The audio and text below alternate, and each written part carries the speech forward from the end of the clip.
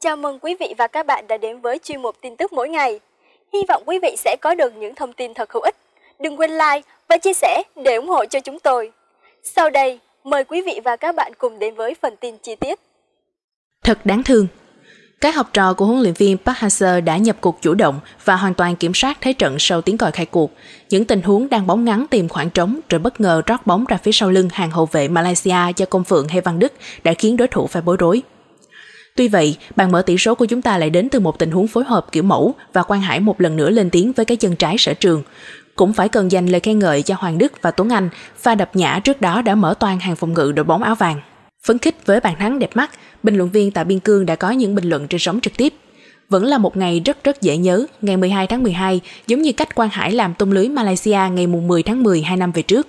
Sấm sét chỉ có thể nói là như vậy, và các bạn hãy chứng kiến hình ảnh bất lực của thủ thành Kariu Fami thật đáng thương. Mọi thứ diễn ra quá nhanh và kịch bản tấn công này rất quen thuộc thời AFF Cup 2018. Những pha bóng xuất phát từ phía bên cánh trái, bóng được trả ngược lại và khi nó đến với cái chân trái của Quang Hải thì chúng ta thường có thể biết đối phương sẽ phải nhận hậu quả như thế nào.